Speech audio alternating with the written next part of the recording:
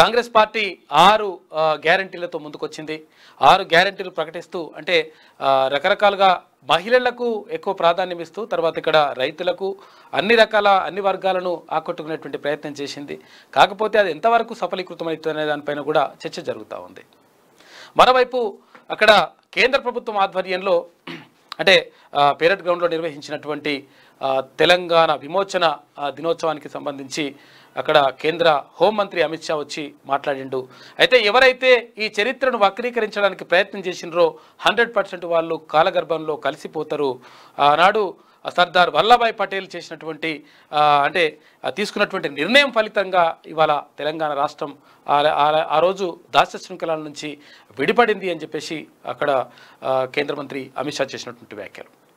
మరోవైపు మేము అద్భుతంగా చేస్తూ ఉన్నాం అన్నీ కూడా సస్యశ్యామలంగా ఉంది బంగారు తెలంగాణ అయిపోయింది తునక అయిపోయింది అని చెప్పేసి కాక ఇక్కడ ఏది సమైక్య దినోత్సవం పేరుతోటి ఇక్కడ పబ్లిక్ గార్డెన్స్లో కార్యక్రమం నిర్వహించిండ్రు.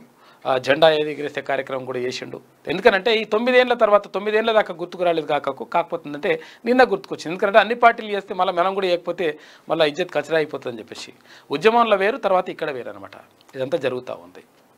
అయితే జరుగుతున్నటువంటి పరిస్థితి ఇట్లా ఉంటే తర్వాత ఇక శ్రీలంక పైన భారత్ ఘన విజయం సాధించింది క్రికెట్ మ్యాచ్కి సంబంధించి.